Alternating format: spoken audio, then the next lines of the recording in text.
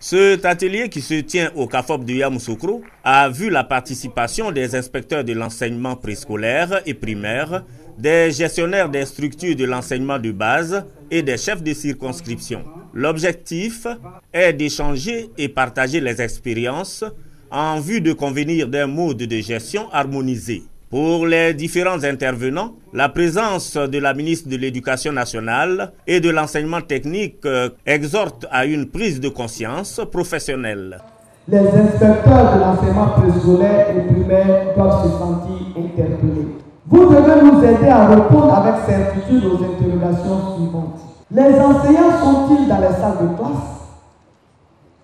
S'ils y sont, enseignent-ils réellement?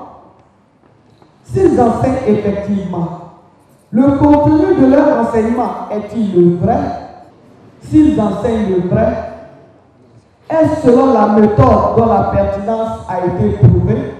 Je souhaite que cet atelier nous aide à dégager les pistes pour un encadrement optimal des enseignants afin que les efforts consentis par l'État et par les parents d'élèves cet atelier s'adresse à tout le sous-secteur préscolaire et primaire. 79 000 enseignants, 3 100 000 élèves, aux parents d'élèves et à tous les partenaires du système éducatif ivoirien.